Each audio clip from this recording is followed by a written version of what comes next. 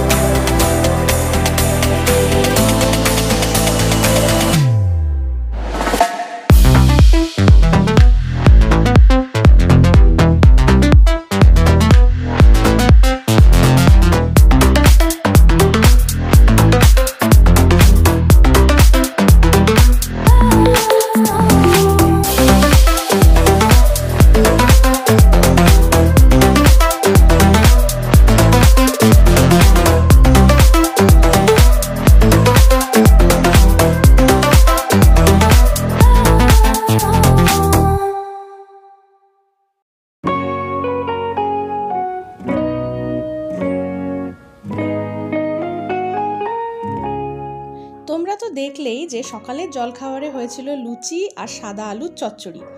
এখন মধ্যাহ্নভোজে রয়েছে আরও অনেক কিছু। আছে স্যালাড, বেগুন দিয়ে পালং শাক, পটল ভাজা তার সঙ্গে রয়েছে চিংড়ির মালাইকারি, দেশি মুরগির কষা, চাটনি আর সঙ্গে দই আর তিন রকম মিষ্টি। আর হ্যাঁ গরম ভাতের ওপরে ঘিও রয়েছে।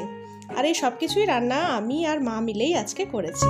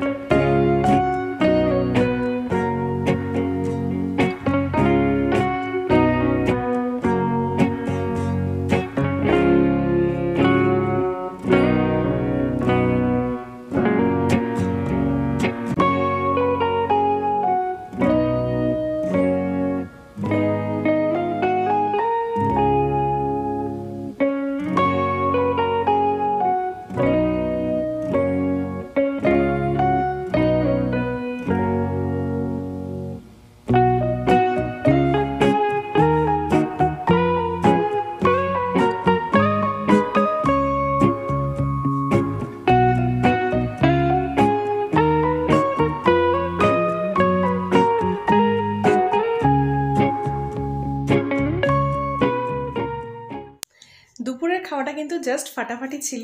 আর তারপরে একটু ঘরে এসে ল্যাদ খাচ্ছিলাম বাট তারপরে মনে হলো যে না, উঠি, গাছগুলোতে জল টল দিলাম।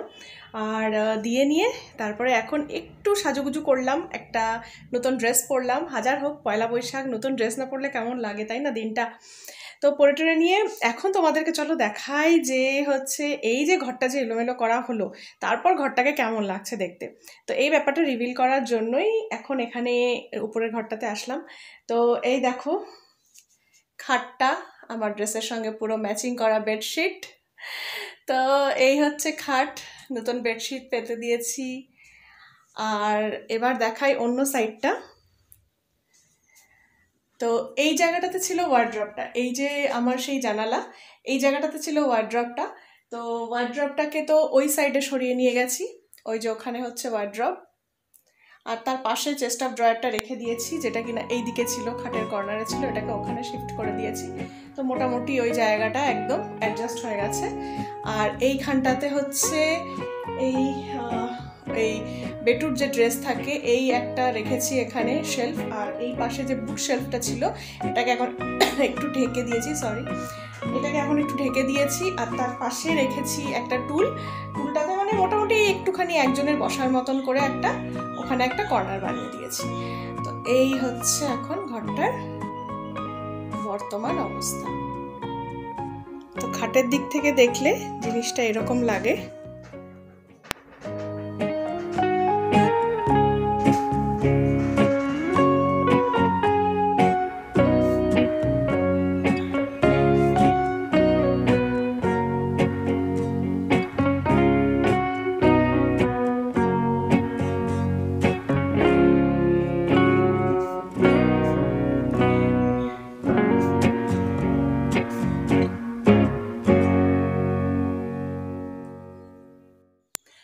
আজকের ব্লগটা এই অবধি ছিল। আশা করছি ভিডিওটা তোমাদের কাছে ভালো লেগেছে।